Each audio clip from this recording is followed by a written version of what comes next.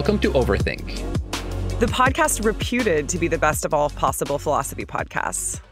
I'm your co host, Dr. David Peña-Guzmán.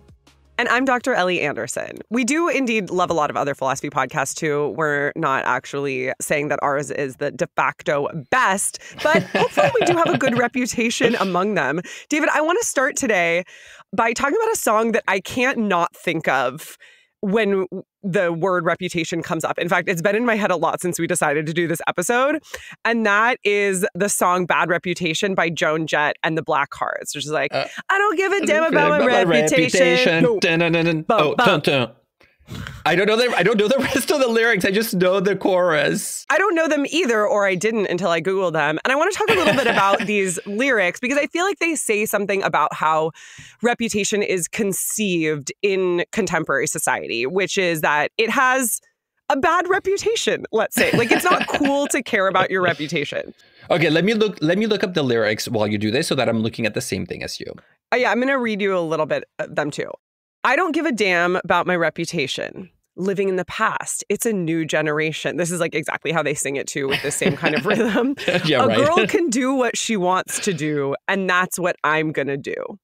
Okay, so I'm getting from this that Joan Jett is resisting the patriarchal expectation that girls, because she says a girl can do what she wants to do, that girls do things with a sort of internalized other in mind who is meant to guide their behavior um, towards stimulating a good reputation or towards, towards stimulating is a weird word there towards like cultivating? establishing establishing yeah, establishing. yes, yes, yes. Well and the lyrics that follow actually speak to me a little bit more. Um so the lyrics basically go uh and i don't give a damn about my bad reputation. Oh no not me. And i don't give a damn about my reputation. Again never said i wanted to improve my station and i'm only doing good when i'm having fun and i don't have to please no one it's giving hedonism. Yeah, well, the, the hedonism of I'm only doing good when I'm having fun. But the thing that I actually want to underline about this is the reference to improving your station,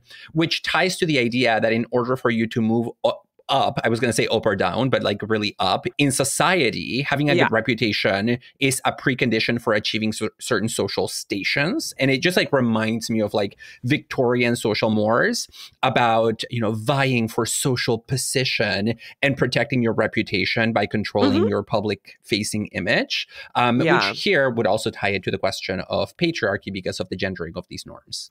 And I would also say aristocratic social norms, because the idea of needing to care about your reputation as being related to social mobility, I think has to do with this idea that you are seen as reputable by others in a sort of social credit system that values hierarchy, which is not necessarily aristocratic, but is very commonly aristocratic. Well, and your point about this being aristocratic makes me think about the extent to which reputation itself seems really old fashioned in many ways. And I don't just mean 19th century Victorian old fashioned, I, I mean like early modern or just like more globally pre modern. Because reputation, like many other neighboring concepts, like think about honor, think about glory, think about vanity, they're concepts that speak to an old valuation system that existed, I would say, during the medieval period, the Renaissance, and the early modern periods, that is really rooted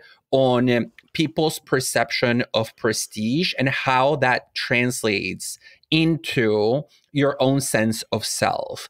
And interestingly, I think there's actually been a renaissance, I would say, of these concepts in social and political theory in recent years, because many of us think that these concepts that appeal to your social station are outdated, right? That we no longer think in terms of honor. We, I mean, who uses the concept of glory or vanity when thinking about their position in society, right? It seems really arcane and anachronistic, but some theorists have begun doing the work of, let's say, salvaging these concepts from the history of ideas and showing that many of the ways in which we interact with one another are mediated by these concepts. So, for example, Kwame Anthony Appiah published a few years ago, it was in 2010, a book called The Honor Code How Moral Revolutions Happen, where he talks about the importance of thinking about honor in the context of a racialized society, especially in the wake of the memory of slavery. And there have been a few other thinkers who try to do similar things with, for instance, reputation. Okay, well, in that case, maybe Joan Jett is a little bit outdated at this point because one of the other lyrics is I don't give a damn about my bad reputation. You're living in the past. It's a new generation. The implication being that reputations no longer matter. But you would counter and say, well, Appiah's recent book reveals a comeback of at least honor. And then certainly the b- main book that we're going to talk about today, a book by Gloria Origgi called Reputation, which just came out a few years ago. Work of philosophy, I think, speaks to this new interest in reputation. I also took a peek at what Joan Jett has said about this song. And she says it's autobiographical.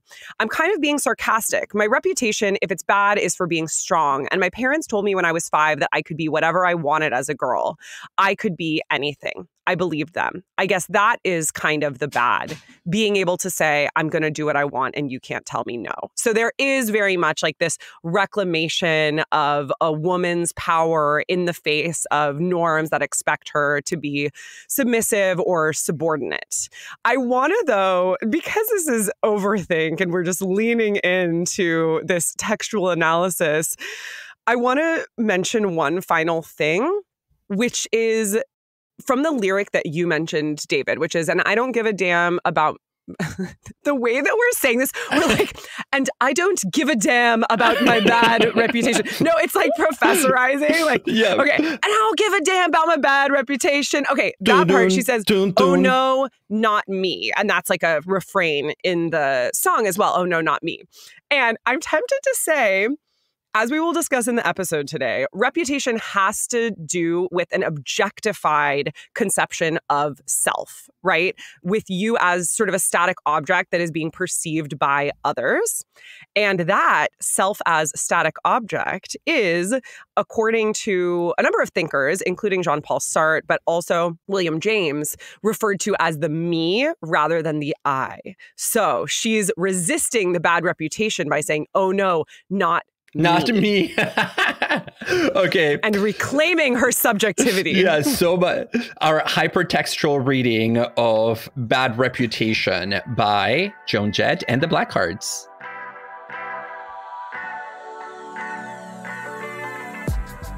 Today, we're talking about reputation. What is the value of reputation, especially in an increasingly digital world? In what ways can reputations, good or bad, be dangerous?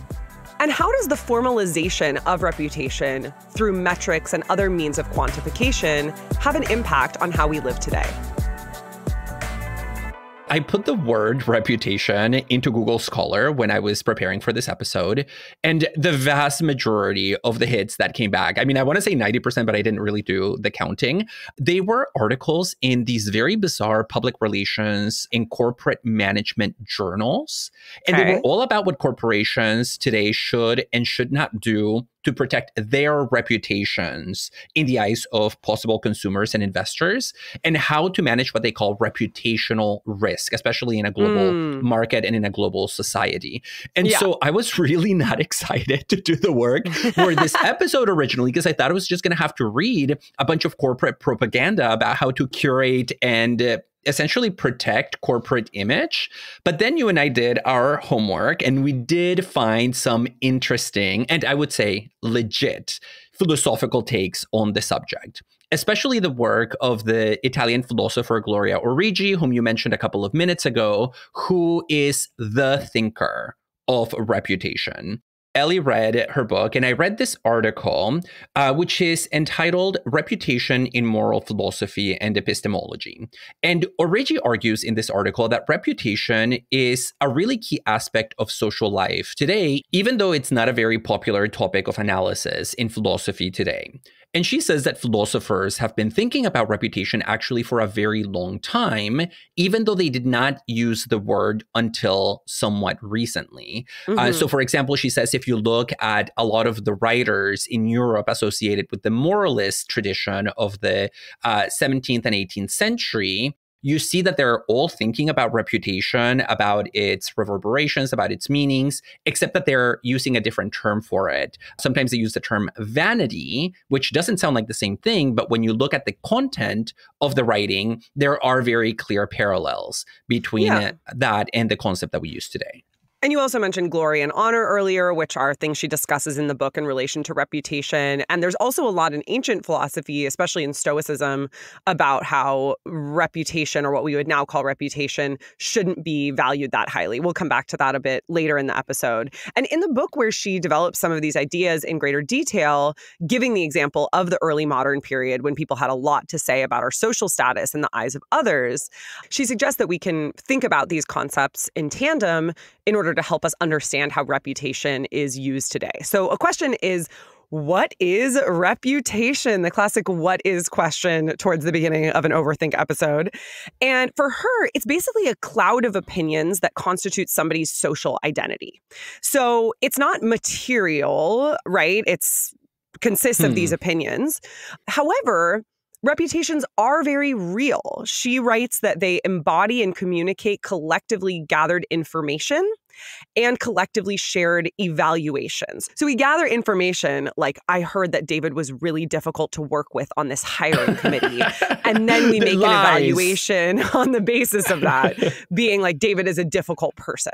Yeah, and in the article that I read, she uses a definition of reputation that I actually really, really like, maybe even more than this notion of a cloud of opinions that you just alluded to. She says that our reputations are informational traces of past actions. So, mm. all the actions mm. that we do that are socially legible in the public square always leave a trace, not just about the actions themselves, but about the doer of the action. And so, all those traces, when combined by third parties and shared through various channels of communication, like gossip, they become our reputation. But I like this notion of informational trace.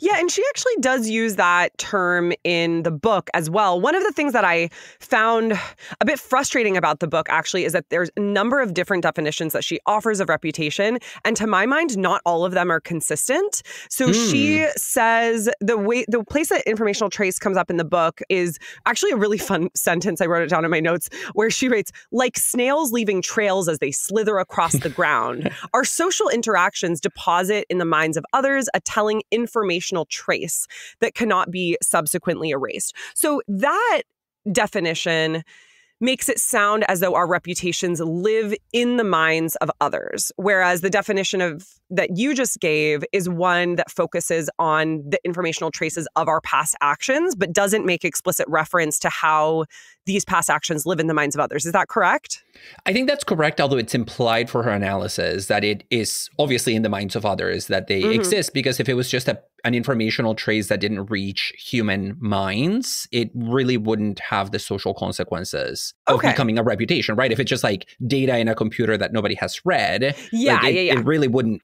be relevant at all. So I think it's just built into it. Yeah, definitely. What I found frustrating though is that in addition to these more intersubjective or even objective ways of thinking about reputation, she also writes in the book about reputation in a way that makes it sound as though our reputation is constituted by how we think others perceive us, which I do think is quite different. Mm. And I'm not saying it can't be both, but I do think that there's a conflation of the different viewpoints in the book that I found troublesome, even though, I mean, there's a reason that we're going to be talking so much about the book today. I do think it's a really valuable yeah, analysis yeah. of reputation. But it's just this point where she at yes. one point says that a reputation is composed of the opinions of others. That's this cloud of opinions idea.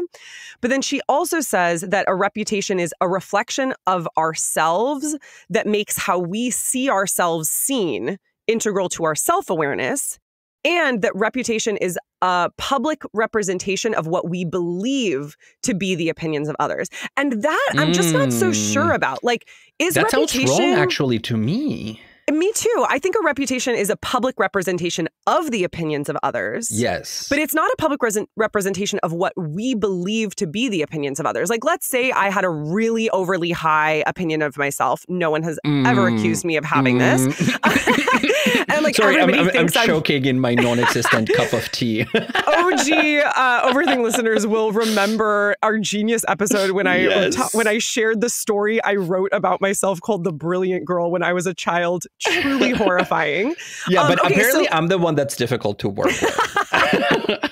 so yeah, when I was when I was a kid, I thought I was like really brilliant. I had a much higher opinion of myself than probably others did, which was most likely a response to the fact that I was extremely dorky and very insecure.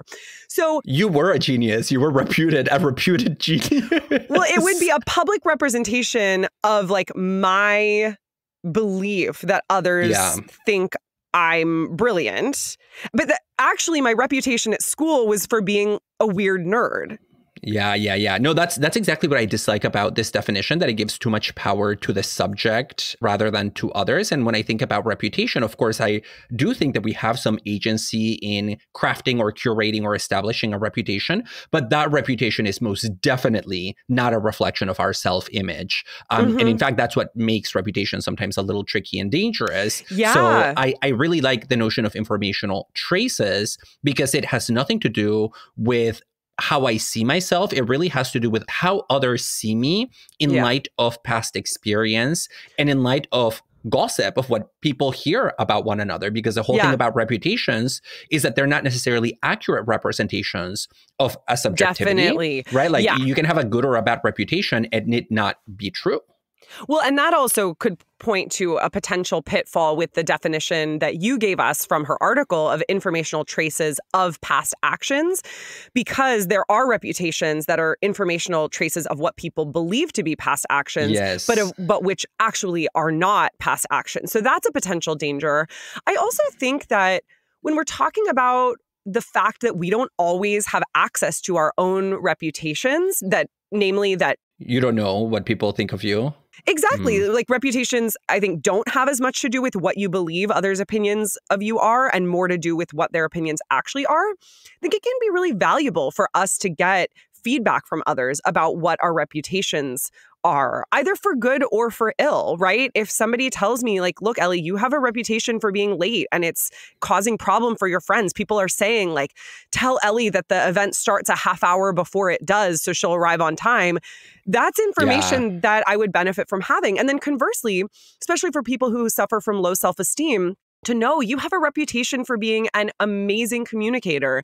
That can be really valuable a few times since graduating, since finishing the PhD, I was told by some of my friends, including you, Ellie, that in grad school, you thought that I had a really good work life balance. And I've been told that by like three or four different people. And so I had a reputation for being this person who like has a healthy social life outside of just academic philosophy. And I was always shocked because it did not cohere with my interpretation of myself at the time. So I had yeah. a good reputation in connection to work life balance that I was completely oblivious to.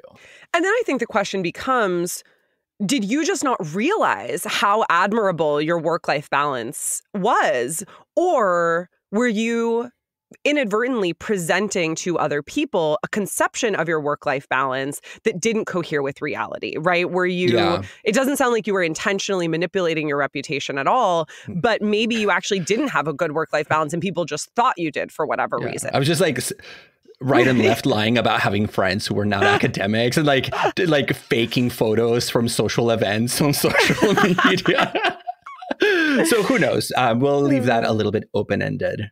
Yeah, and definitional debates aside, one thing that I really like about Origgi's work is that she argues that caring about reputation is pretty central to being human. And I feel like it's really important to mention that there's something weird going on when humans get all moralistic about the evils of comparing ourselves to others. I think mm, culturally, mm-hmm. it's seen as really negative to care about your reputation and about your social standing relative to other people. And I always find that bizarre when people like, don't compare yourselves to others because there's a kernel of truth in that. Comparison can be really damaging. But at the end of the day, comparing ourselves to other people is actually just kind of what we do and also can be really valuable. And Origgi mm-hmm. says the following She says, Human beings are neither essentially competitive nor essentially cooperative. They are comparative, that is to say, born and bred to draw comparisons and contrasts between themselves and others. And she actually goes so far as to say that morality itself depends on reputation. Yeah, insofar as you have to think about others and establish comparisons between you and them. And I think as humans, we have an original drive to be liked by others. And uh, as Origgi says, to appear in a certain way to them. So she has this kind of theory of human nature where she says that we are naturally inclined to want to control the image that we project onto others. And mm-hmm. this leads her to make the claim that humans are homo comparativus. Uh, that's like her scientific term for the kind of being that we are, because we have this comparative consciousness. Mm-hmm. And so, what we could call reputational management or the management of reputational risk is not just something that like corporations do according to my uh, google scholar search from yeah. a few weeks ago it's actually something that we are all doing at all times just by virtue of being humans because it is what it means to be a social animal. And i think it's important to note that we do it not just because it is in our social interest to control our reputation and to try to guide it and canalize it in particular ways, but because it's inescapable, right? Like we cannot not be comparative creatures. And so when we think about it as a natural drive or as a natural impulse, we could say, and this is the language that Origgi uses in the article that I read, that reputation is both a social interest because it's in our interest to care for what others think about us, but it is also a fundamental human passion. Yeah. And I mean, some of the language she uses around this uh, might be a bit overstated. She says we're innately hardwired or something like that. She definitely uses the word hardwired to talk about this investment in reputation. And I'd probably be a bit more interested in thinking about reputation as a certain manifestation of biological human impulses that's like also shaped by culture and you know there i think it's maybe a bit more complex than that. However i do take her point generally that reputation is really important to us. And there's this amazing quote that she gives from hobbes on glory one of the sort of related concepts to reputation that we mentioned a bit ago. For Hobbes, glory is one of the three fundamental passions that inflames human rivalry. And it, it's basically the feeling of triumphing over others.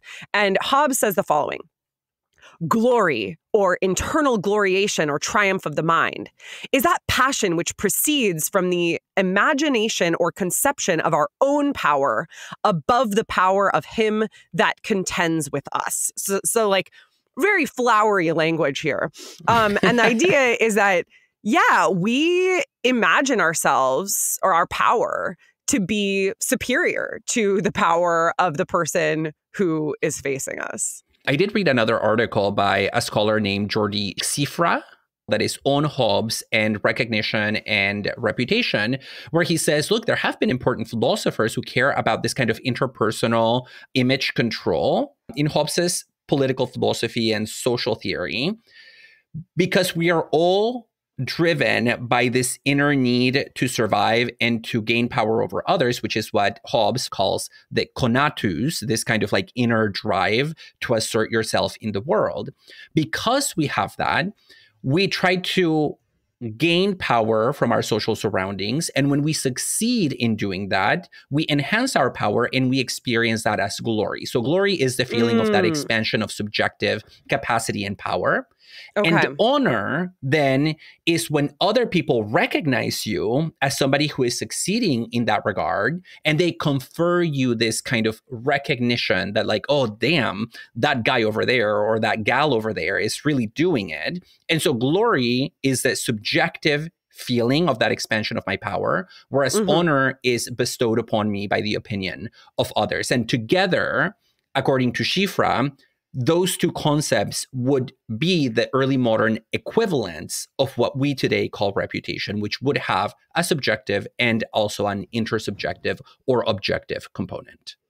And I think that's precisely what Origgi is getting at as well, because Origgi is interested in the dimension of reputation that has to do with that drive or that passion, but then also the aspect of reputation that is more intersubjective, if not objective, and has to do with our social interests, how we think that others are perceiving us. Yeah, and I think her claim that reputation is both a social interest and a passion, that was really helpful for me to think about this concept because it is true that reputation is something that we have a reason to protect. But when you think about it as a passion, it's just something that we naturally do without thinking about it ahead of time. And she says that if you look at the writings of Adam Smith, that's where you really see the duality of reputation even at the level of his own work, because as a political economist, Adam Smith writes a lot about reputation in connection to economics, right? Like if I find myself in a large social setting, like a marketplace where I'm trying to trade things, buy and sell stuff in the market, in order for people to be willing to do business with me, they have to basically have some information about the kind of person that I am.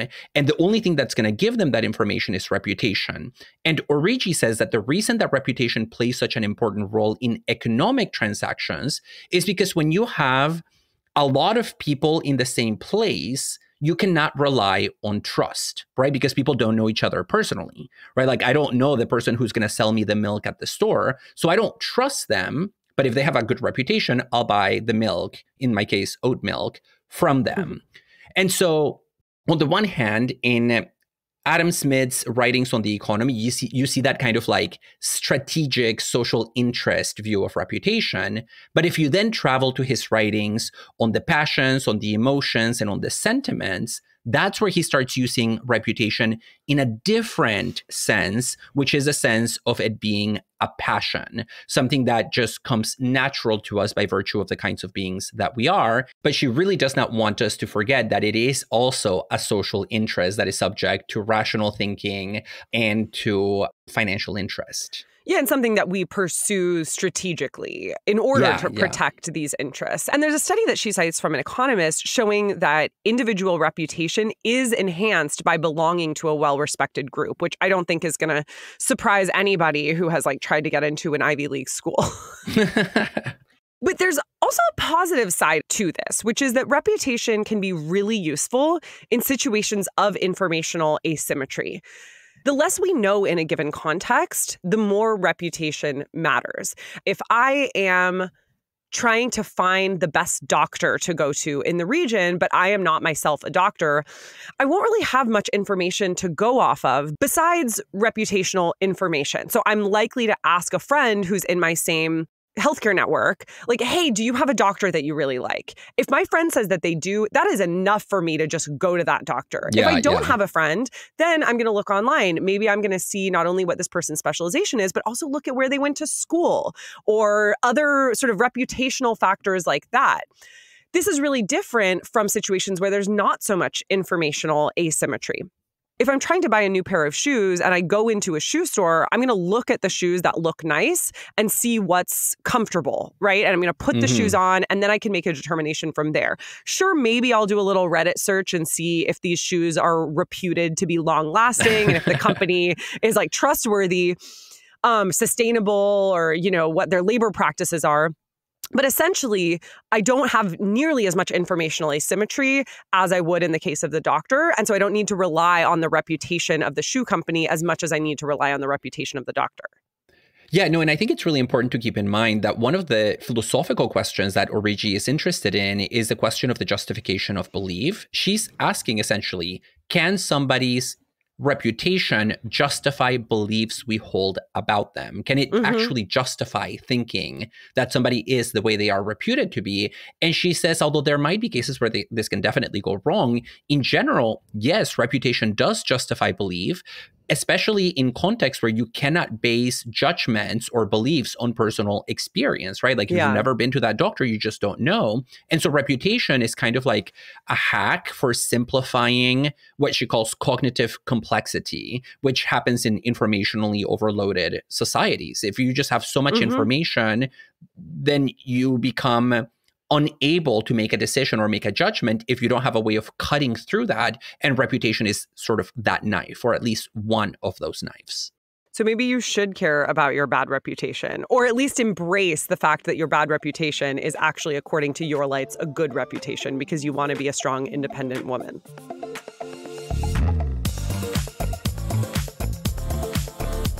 Enjoying Overthink? Please consider supporting the podcast by joining our Patreon. We are an independent, self supporting show. As a subscriber, you can help us cover our key production costs, gain access to extended episodes and other bonus content, as well as joining our community of listeners on Discord. For more, check out Overthink on patreon.com. There are all the same many dangers to relying on reputation, in spite of the fact that we might want to follow Origgi in recognizing that reputation is pretty central to human social life. Somebody who thought about this a lot was the philosopher Jean Jacques Rousseau. There is a lot to say about Rousseau's life. He was a far from perfect human, but I want to focus on his account of his reputation, which is that Rousseau basically had a good reputation for a long time. He was a philosopher based in Switzerland. And then he wrote something that was critical of revealed religion and was basically driven out of his hometown of Geneva. He took refuge in England got to know David Hume there. Hume was not a fan. So then Rousseau leaves England because he's like, okay, Hume, not my buddy. And then he spends the rest of his life mostly in France, kind of in exile, traveling around Europe, but settling mostly in France, which is the setting for this book, Reveries of the Solitary Walker, which David, you and I actually did a YouTube video discussion Yay. of. It was so fun. Um, it was really fun. Yeah, I liked it. And I want to talk a little bit about Rousseau's take on reputation here because he's somebody who at this point has gone from having a good reputation to a very bad reputation. He is seen as a heretic by the people in his homeland. He has this sense of persecution. And so it's both real persecution and also, as you mentioned, David, imagined persecution. And there are some suggestions in this book as well that he like thinks everyone is out to get him when they may or may not be. So definitely some paranoia going on, but also a sense that you know people really he really has fallen from grace and so his reputation is bad both in like all of the senses that Origgi is using it as we discussed in the previous segment so, where he lands in this book is with an account of how taking joy in how other people perceived him ended up being really empty. He used to take joy in it, he used to appreciate that glory. But he's now found that true happiness comes only from within. Initially, when his reputation started to suffer, he had this impulse to defend himself. He wanted people to realize how wrong they'd been about him. And if he couldn't change the minds of his contemporaries, he thought, well, at least perhaps history will remember me better. But as time went on and his reputation still didn't change for the better, he realized that these were misguided hopes. And if anything, the powerful people who had destroyed his reputation would make sure that those in the future continued to have a bad opinion about him. Rousseau, that heretic, and he would remain hated or even become forgotten.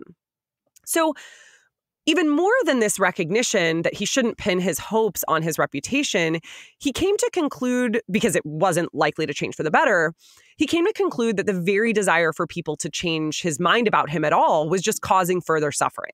And what he needed to do was stop caring about his reputation altogether.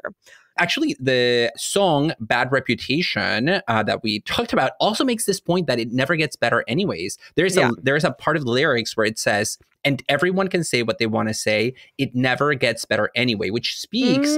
To the mm. possible irreversibility of reputation, which is also a point that comes out of Origgi in one of the quotes that you mentioned like 10 minutes ago, in which she says that our reputation is something that is is never to be erased. Look at you with the bad reputation lyrics on hand at all times. I mean, for me, this raises another question, which maybe uh, we will talk about, maybe we won't, which is what does it take for us to change our reputation? Uh, and you see this in, in, in, the case of Rousseau, that once you have yeah. a reputation that follows you for long enough, it kind of becomes a permanent shadow that you carry around wherever you go. And with Rousseau, you see the Stoic influences. And indeed, Reveries of a Solitary Walker is a text that is influenced by the ancient tradition of Stoicism, which emphasizes not investing in the fleeting fortunes of reputation, which will go away anyways. And Stoicism is really interesting on this point because some of the major Stoic thinkers are people like Marcus Aurelius, who was a literal emperor,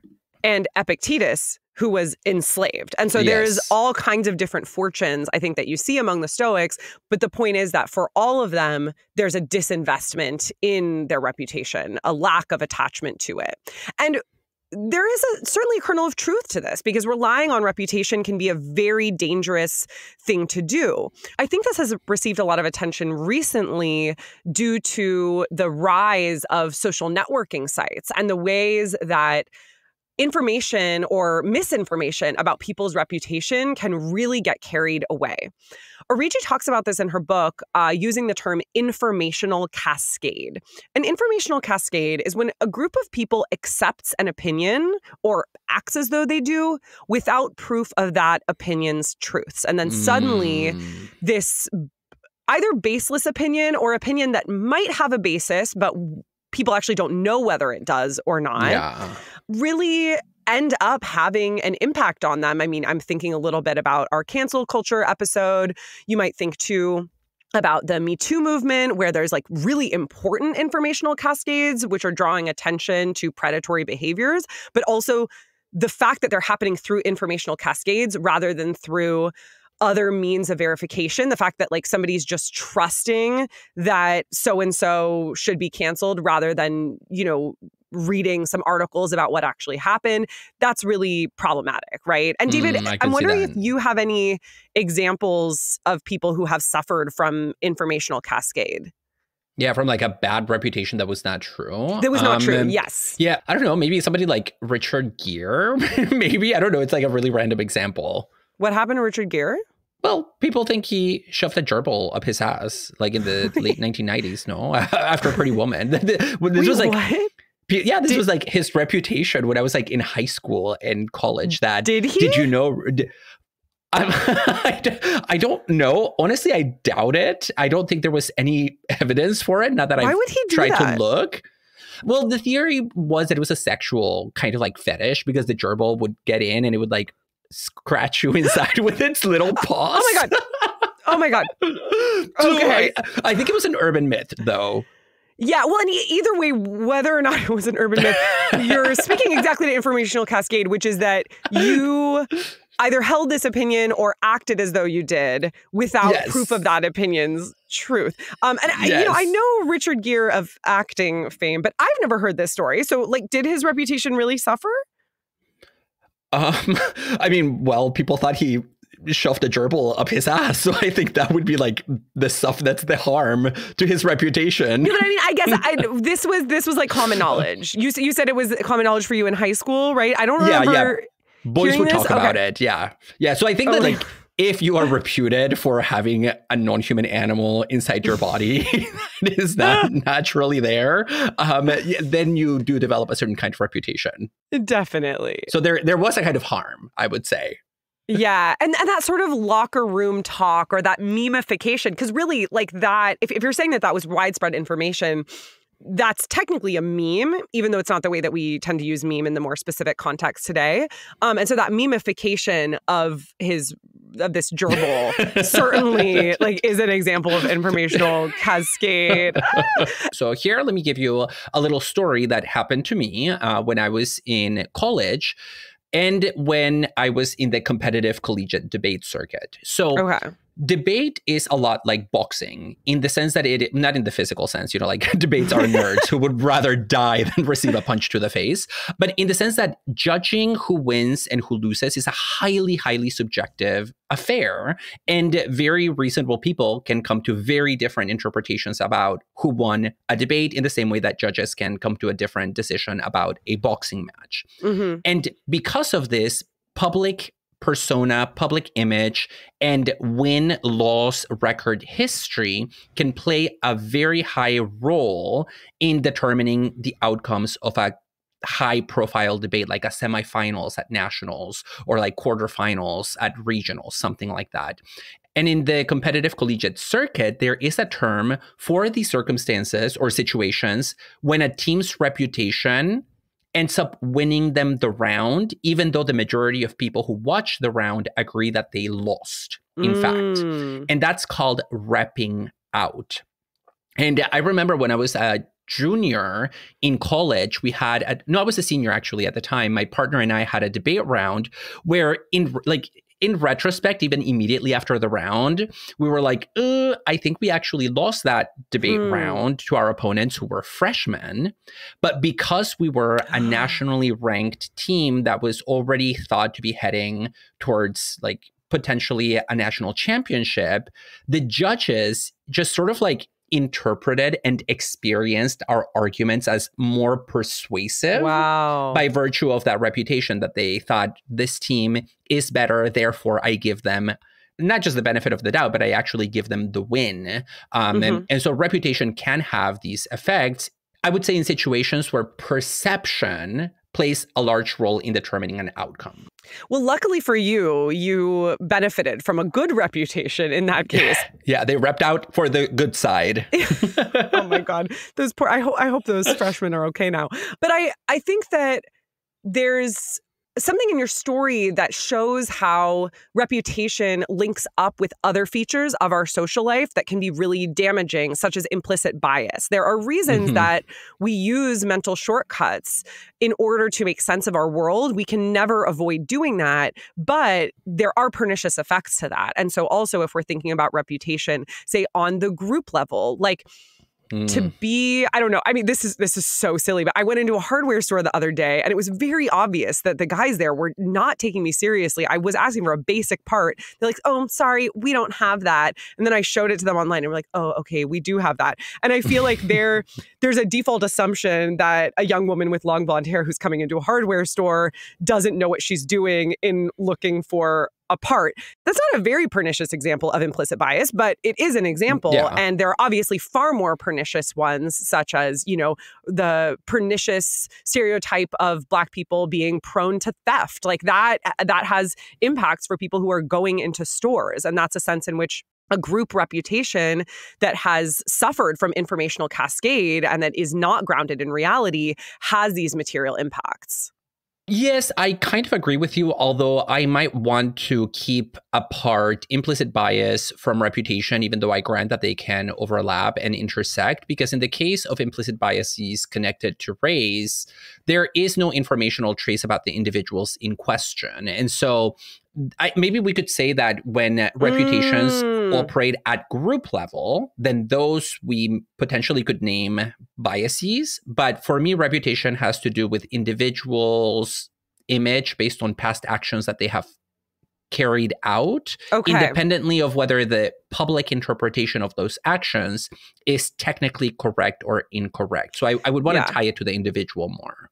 I think that's a fair point. I want to mention another pernicious effect of reputations that Origgi discusses in her book, and that's what's known as the Matthew effect, which oh, comes oh, from yes. the Gospel of Matthew. Did you talk about that in the article as well?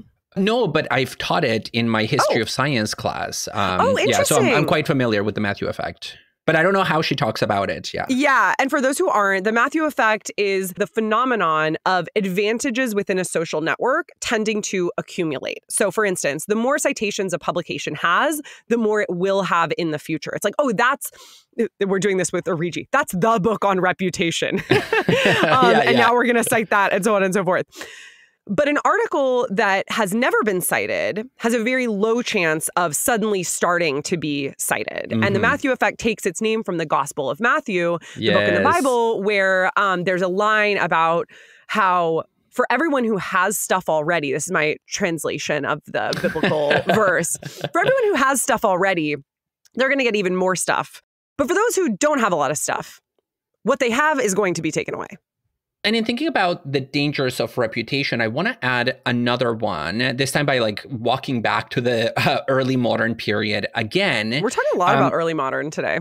I know I'm I'm loving it actually, and I, I have to say this is also from the Origgi article that I read. But she has a passing reference to Machiavelli, and she says that in the works of Machiavelli, right, like his advice to the prince on how to accrue power, Machiavelli makes some claims about the importance of reputation that I then started thinking about what they tell us about the danger of reputation itself.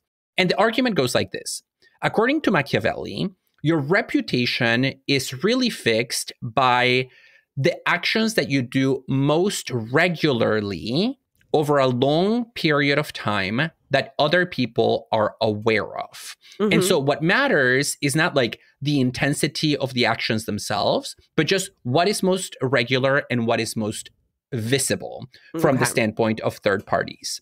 And so Machiavelli gives the advice to the prince that if they ever have to kill any of their subjects, which the prince may have to at various points, it's not that they shouldn't kill them indiscriminately, but rather that they should kill all of their enemies at once in a kind of gigantic massacre of political enemies. And then after they kill all those people, the prince should do kind of like benevolent little actions regularly over a protected period of time because in people's minds based on the way reputation works they will remember what is most regular and not what is most atrocious.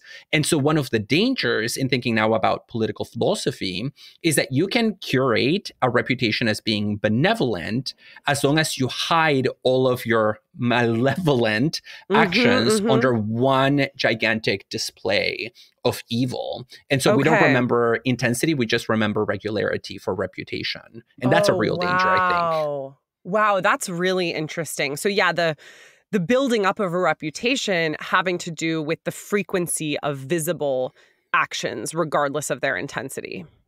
Yeah, regardless of their intensity. And so it means that as a prince, I could kill a thousand people and in in one day and then donate bread to the poor for like 20 days. Those two th- those two are not even comparable. Yeah, yeah. but because the second one is more regular and repeated and serial it will actually determine my image in other people's eyes more than the former sadly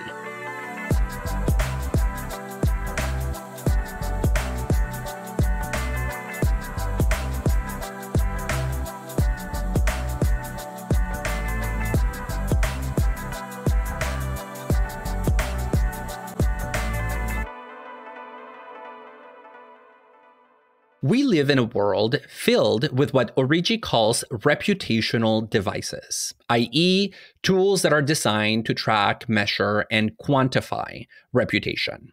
Think about Yelp, think about Facebook likes, think about the star rating system for Uber drivers. Yeah.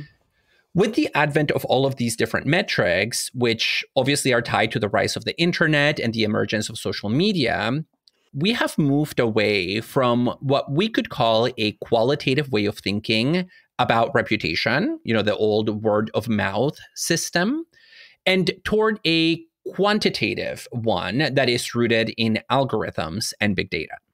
Absolutely. There's been a move towards formal or objectified reputations, whereas the world used to be characterized more by what Origgi calls informal reputations, gossip systems, word of mouth, and so on. Now, there's more and more aspects of our lives that are based on formal reputations that are codified in this quantitative way. And usually the rise of metrics, I think, is worrisome for us, David. Mm-hmm, yeah. Well, for everybody. yeah. But but I think I think you and I are often like very critical oh, yeah, yeah, yeah, yeah, yeah. metric systems. Not the metric system that uh, the UK uses. I'm worried about that system too. Inches for everybody. Europe, or that Europe uses. Yeah, yeah. Down with kilometers and up with miles. No, no, no. Just like uh, systems of metrics, we might say. Yeah.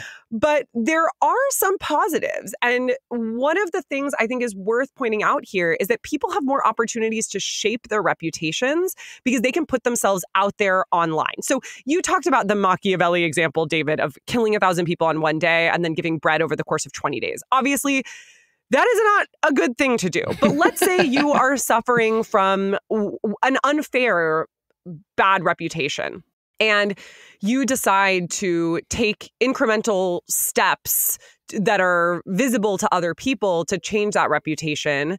Like Gere and the gerbil. Yeah, yeah, yeah. Posting on Twitter every day. I did not stick a gerbil up my butt. Social media gives you more power to shape your reputation by putting you in other people's lines of visibility than before.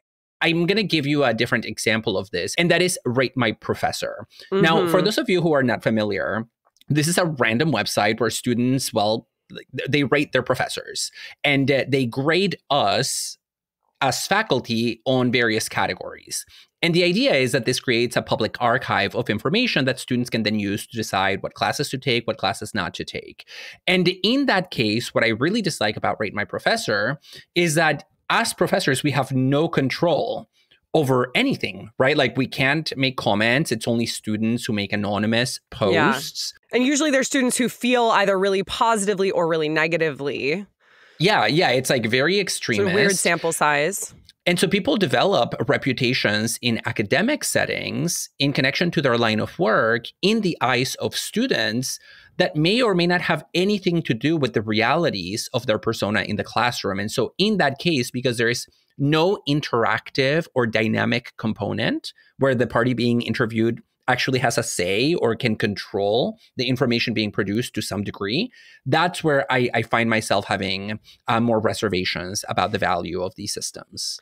I would actually take a different line of attack to something like Rate My Professors, which is not that the problem is that we can't comment or have some sort of dynamic feedback loop that's not under the veil of anonymity. You know, so so I think you're talking about the problem with anonymity and also the problem with not having the chance to respond again. But th- those are actually features of traditional student evaluations. I think the bigger problem, which is also a problem with traditional student evaluations and Rate My Professor, is that implicit bias comes into effect all the time and you don't actually have fairness across the board. Students are as we know from a number of studies that have been not done on this, not very good judges of how much they actually learned in a class and are much more likely in evaluations to focus on things like personality, which are really liable to mm-hmm. being shaped by implicit bias. So I, I, do think that's a big problem. Although I will say one of my favorite pieces of feedback ever has come from my professors. This was like years ago. I don't think students really use it that much anymore. But somebody wrote that I was a very tough grader but fair, and I was like, oh, oh, oh my god, that totally it. just that's catnip for you. That it's like catnip. tough, rigid, but fair but and fair. just. Yeah, like I just like have the image of like Lady Justice like in front of the classroom. um, I would say that there are still other problems in this website tied to the way in which reputations are built and undone, especially because in the case of Rate My Professor, there is a mismatch, I would say, between the values that we professors have and the values according to which we are evaluated on this platform. Mm. So, for example, like students are asked to give professors a rating in terms of difficulty. It's like a one to five, with yeah. five being really difficult and one being like not difficult at all. And although the website doesn't say this, the kind of open like the open secret is that professors that are easier are better that students prefer a low difficulty mm. scale and it, for starters, the concept of difficulty is not defined in the website. So we don't know if it was difficult for good reasons or if it was difficult for bad reasons. So there are questions about like for whom was it difficult and for what reasons. Yeah. And so you end up receiving this score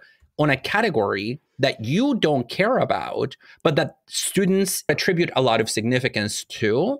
And so there's a, a, value mismatch. And I think that can be deeply problematic in the case of the formalization of reputation under these new, what we call them, uh, reputational devices. Well, and following this, we would be remiss not to talk a bit about the Chinese social credit system, which I think we're approaching the end of our episode. So we can talk a little bit about it and then maybe we can save a more extended discussion for the Patreon bonus segment, David. But I think that is for many people the most obvious form of formal or objectivized reputations that we see at all in the world today. And this social credit system was first announced in 2014. And it's similar to your economic credit, your credit score, but it's instead about your social credit. It started off as a voluntary program, but it's become more and more central to the way that the Chinese social system functions with the ultimate goal of it being mandatory. And I, can't remember, David, is it now mandatory? So no, there is I there's a lot of information around the Chinese social credit system that is difficult to tease apart because exactly know, language barrier and all of this. Well, and also because there's there's propaganda like everywhere on the internet Yes. around it, and then there's also stuff that's like really anti-China. So I was kind of having a hard time, to be honest, in looking at this, finding like neutral information. Yeah, so I found one article that I thought was quite helpful just because it targeted this confusion, and it was in uh, Wired uh, Okay. magazine, and it talks about how, for starters, there is no such thing as the Chinese social credit system. For a while, actually, even before uh, that 2015 date that you mentioned, for a while, China has been trying to figure out. Yeah, 2014, sorry. Even Mhm. before that, China has been raising this question of how do they assess the reputation of citizens and their trustworthiness in order to extend lines of credit, financial and otherwise. And they've been playing with various models of social credit, largely because they notice that other countries, like for example the US, have credit scoring systems. And so right now, what is on the ground in China is a combination of kind of like city level initiatives that are not standardized. So different cities have been playing with different credit models and credit systems, and also some more centralized databases where information about citizens is gathered. And on the basis of this information, they create what are known as blacklists and red lists. And obviously, being blacklisted means that if you have a bad reputation, you get some um, kind of penalties or you're denied certain things like air travel or train travel. But if, based on that kind of um, administrative information from these agencies, you are a good citizen and a good consumer, then you get some perks uh, Mhm. like loans at a slightly lower interest rate, some free health checkups. You might get like a discount on like your bike ride program or whatever. And so the, the whole point to be made here is that there is no such thing as a centralized system yet, but people are worried that this is going to lead to one. And some of the programs on the ground do raise significant worries about how that reputation is going to be measured. You know, like, are you just going to use financial information or are you also going to use information from social media interactions, like how many likes they get, how many followers they have? And more importantly, what are you going to do with that information? How is it going to limit or enable people? But it Mhm. is a really messy situation. And I did read that part of the issue is that it's very technical legal language in Chinese or in Mandarin that often Western scholars are not familiar with. And so what happens in the West is that people just like read other Western articles about it and it creates a kind of echo chamber. And then people think it's just like that Black Mirror episode. And it, it's actually nothing of the sort. David, when is that article from, though? Well, Let me double check that. 2019. Yeah, so that's really important because the system was supposed to become mandatory and universalized in 2020. So uh, yeah, and it is it is weird to me how like if you look up the Chinese social credit system on Google, the results are actually not all of all that helpful or reliable. And so I did experience like a bit of a impasse in looking this Mm. up um, and i have heard from chinese students of mine that like it is actually something that really impacts their lives on a daily basis so if you as a listener have more information on how this has been since 2020 we would love to hear from you. I want to point out conceptually in the context of this though that the ostensible reason for implementing a social credit system in china was public trust. So china is a huge country. We have definitely noticed the world over that one of the features of globalization and the proliferation of giant communities through city life and so on means that there is dissolution of social trust because people don't have as rich contacts as they used to have. And so the ostensible reason for this is to try and bring back some semblance of social trust by saying, hey, you might not know this person personally, but they have like a strong social credit score. Of course, this I think instantly goes into the Black Mirror you know nightmare scenario Yeah, but that yeah. is the ostensible reason. It's it's trying to solve a problem with the fact that we don't have built-in networks of cooperation the way we used to.